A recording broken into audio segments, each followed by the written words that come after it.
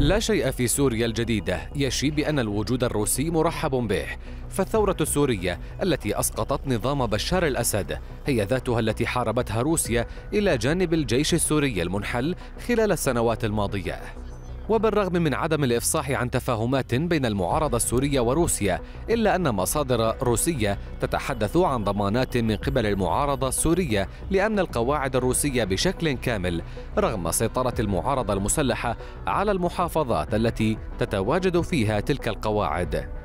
وهنا يثار سؤال آخر حول مصير القواعد العسكرية الروسية في سوريا فضلا عن نحو 100 موقع عسكري روسي منتشر في البلاد في ظل التطورات الجديدة.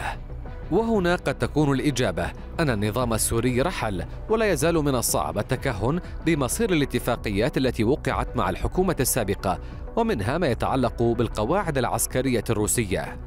لذلك فإن مسألة الوجود العسكري الروسي في سوريا ستحسمها السلطات الجديدة وما هو مؤكد أن هناك تغيرات مستقبلية في الاتجاه السياسي لسوريا. سوف تترك آثارها على مستقبل القواعد الروسية وربما على مجمل العلاقات بين دمشق وموسكو. وعلى ما يبدو أن موسكو مهتمة حاليا بكيفية سحب الخبراء العسكريين الروس من مدينتي طرطوس وحميميم من دون أي خسائر. أما واقع الحال الآن لا يحمل أي رغبة سورية بتمديد أي اتفاقات بشأن استمرار وجود القواعد العسكرية الروسية في البلاد في ظل القيادة الجديدة لسوريا. وقد يكون هناك مطالبات شعبية للتخلص من الوجود الروسي في سوريا.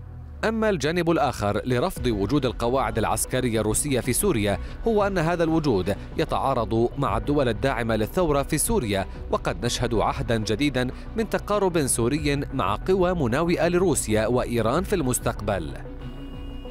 تغيرات كبيرة ستشهدها سوريا فتركة النظام السابق كبيرة ومعقدة فالعقبات أمر واقع في طريق إعادة ترتيب البيت السوري الداخلي وعلاقاته مع الخارج.